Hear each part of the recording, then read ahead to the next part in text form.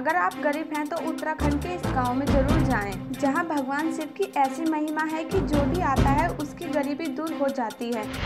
ये ही नहीं इस जगह को श्रापित मुक्त जगह का दर्जा प्राप्त है। ये माना जाता है कि यहाँ आने वाले व्यक्ति को पापों से मुक्ति मिल जाती है। ये उत्तराखंड चमोली ज़िले में स्थित देश का सबसे अंतिम गाँव माड़ा है। यहीं पर माना पास है जिससे होकर भारत और तिब्बत वर्षों से व्यापार होता था। पवित्र बद्रीनाथ से तीन किलोमीटर आगे भारत और तिब्बत की सीमा स्थित है। इस गाँव का नाम भगवान शिव के भक्त मणिभद्र के नाम पर है। इस गाँव में आने पर व्यक्ति स्वप्न दृष्ट हो जाता है, जिसके बाद वहाँ होने वाली घटनाओं के बारे में जान सकता है। मणिका शाह नाम का एक व्यापारी था, जो शिव का बहुत बड़ा भक्त था। एक बार व्यापारी की यात्रा के दौरान लुटोरों ने उसका सर काट कर कत्ल कर दिया था, लेकिन उसके बाद भी उसकी गर्दन शिव का जाप कर रही थी। उसकी भक्ति से प्रसन्न होकर शिव ने उसके गर्दन पर वरहा का सिर लगा दिया। इसके बाद से ही मणि व्रत की पूजा की जाने लगी। शिव ने मणि का सहा को वरदान दिया। मारा आने पर व्यक्ति की परेशानियाँ दूर हो जाएँगी। मणिभद्र